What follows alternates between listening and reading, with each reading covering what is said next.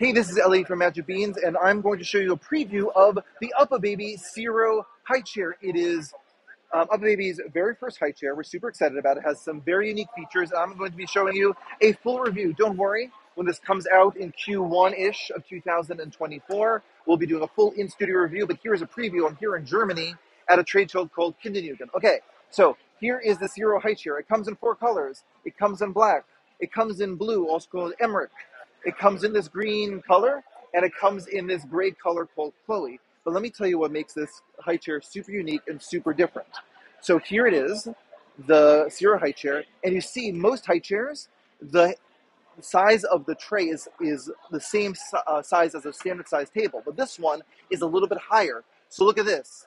It pushes over the table. So if you're eating with your child, you can just feed them food, you can interact with them, you can bond with them, versus a normal high chair where you're like over there and you're like the kid is over there. You want we want to encourage family bonding. We want to just love we love our children, don't we? Okay, but there are other cool things about this. They also wanted to make this super super cleanable.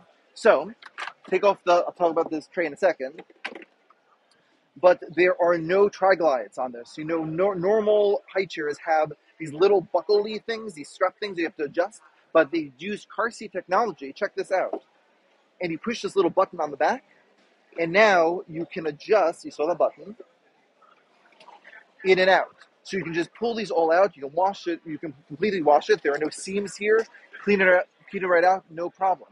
Um, it's also a of the growth of the child. So when your child is a little bit younger, you'll have this, you'll have the footrest nice and high, so their feet are grounded, so they're more comfortable.